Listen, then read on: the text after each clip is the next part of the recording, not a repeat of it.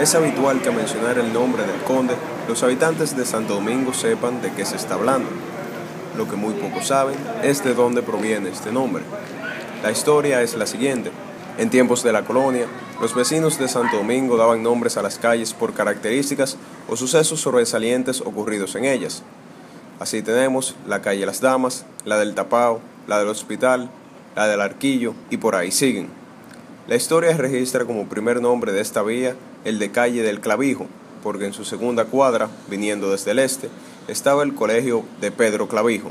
En 1655, don Bernardino de Meneses Bracamonte y Zapata, conde de Peñalba y gobernador de la ciudad, dirigió valientemente el contraataque a la invasión inglesa de Pen y Venables, obligándoles a huir hacia Jamaica. En honor a su exitosa defensa, se bautizó el baluarte llamado Puerta Cerrada como Baluarte del Conde o Puerta del Conde, tomando la calle este mismo nombre.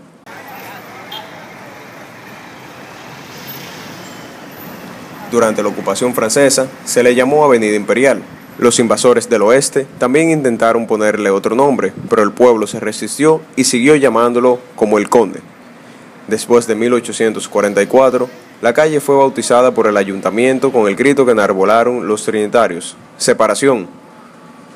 Con el nombre de Avenida Separación fue conocida hasta que el ayuntamiento del Distrito Nacional resolvió restituirle el nombre grabado en la memoria y tradición del pueblo dominicano, calle El Conde, y de ahí viene su nombre.